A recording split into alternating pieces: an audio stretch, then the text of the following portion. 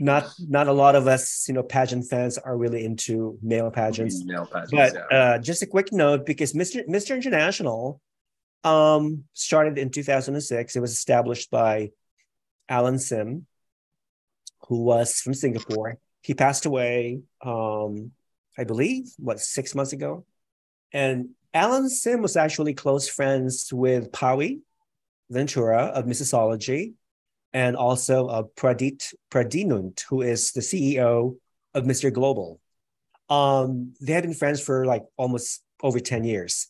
So when Alan passed away, uh, Pradit uh, took over the Mr. International uh, license.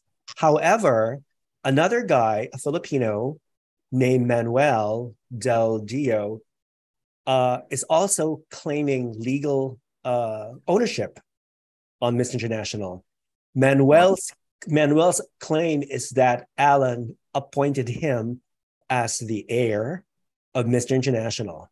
However, according to Pow, I don't know, Brian, if you read Pawee's. Uh, uh, yeah, but I was confused. yeah. Um, he basically said, you know, how could anyone from the Philippines claims that he is the new owner of Miss International without ever having met Alan in person? Whereas me and my friend Pradit had met, had known um, Alan Sim for so many years. He gave us all the passwords to his social media accounts, to his email accounts. So therefore, blah blah blah blah.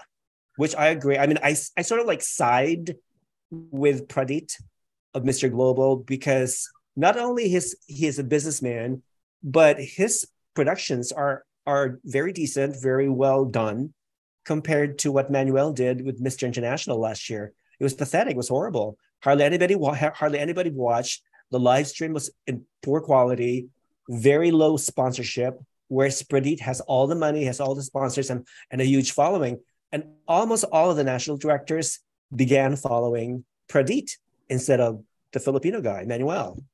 So my point is both parties have to publish proof of their legal claims for everybody, for the whole world to see. Let's be transparent about this.